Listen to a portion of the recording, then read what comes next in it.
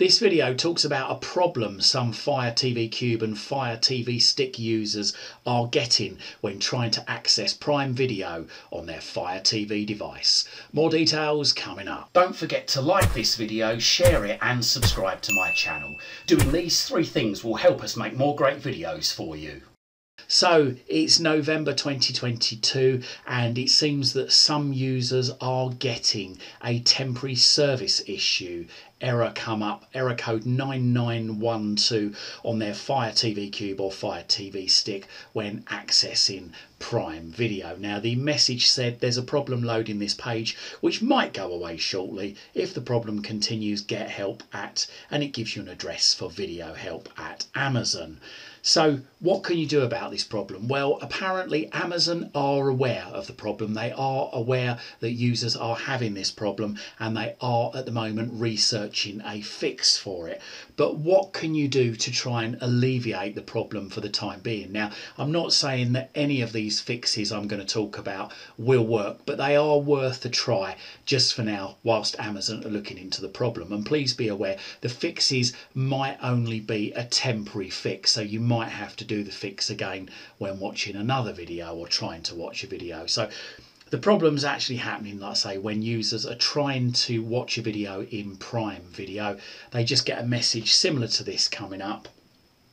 But some people have found there are ways around it. Now, first of all, try restarting your Fire TV device. So basically, grab your remote control, press and hold the play pause button whilst also pressing the middle button in the center of the ring. Keep them both held down together until you get a message on your device saying that it's powering off. Then let go. Go back, try seeing if you can play a video then.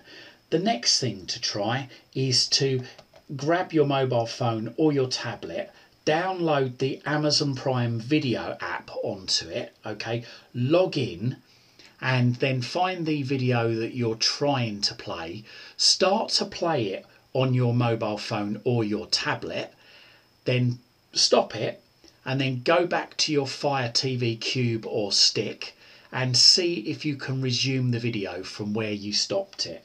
That sometimes does help. So the other thing to try is to basically try and check to see if there's any updates on your Fire TV device. So just go across to the settings cog and then go down to My Fire TV, middle button and then go into about and then go down to check for updates. Press the middle button on the remote control, okay, and see if it starts downloading an update like mine is. Now, just following the instructions on the screen. Once it's downloaded, you might have to press the select button or the middle button on the remote control again to install the update and that bit might take a bit of time. So don't press any buttons on the Fire TV remote while it's updating. So always a good idea once it's updated to press the middle button again just for good measure, just to make sure there are no more updates and then perhaps try restarting the Fire TV device by again pressing and holding the play pause button whilst pressing and holding the middle button on the remote control until you get this band across your screen that's going to come up hopefully any second saying there you go say your Fire TV is powering off. Let it reboot okay and then try Prime Video again if you're still having problems, then another thing to uh, to to try is is going into the uh, into applications which I'm going to show you in a second once my Fire TV stick has rebooted. So hopefully shouldn't take long. There we go. And we're just going to go across again to the settings cog and then down and across to applications there. Middle button and then go down to manage installed applications. Middle button and then find somewhere in the list there prime video okay? Middle button once you see it and then go to full stop middle button okay?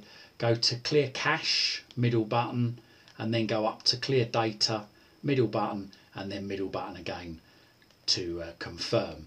And then what we want to do is keep pressing the back button until we go back to the main menu and then try Prime Video again and see if you still get that error message. If you do, then unfortunately it might just be a, a, case of waiting until Amazon have fixed the problem at their end. But obviously, if it's ongoing, then do contact them using that web address that comes up on your Fire TV device. I hope this video helped and if it did why not hang around? Have a look through my YouTube channel. I've got thousands of other videos covering all sorts of subjects.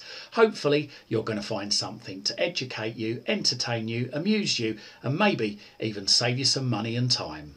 I hope you liked this video and if you did, hit that like button. If you think your friends, your family or your work colleagues might like it, then don't forget to share this on your social media timelines. And if you haven't done so already, Make sure you find out about all my latest videos the second they're released. Hit that subscribe button, then hit the bell, then hit all. You can also find me on Twitter at CWTek and also find my website at cwtek.co.uk. Liking, sharing and subscribing really helps support this channel. Thank you very much.